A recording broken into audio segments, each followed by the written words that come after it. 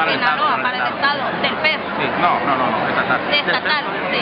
Entonces, y de, y de ese presupuesto eh, sería solamente para obra, los mil millones de pesos. Estamos en eso, que nos digan cómo va a quedar distribuido y en base a eso vamos a trabajar.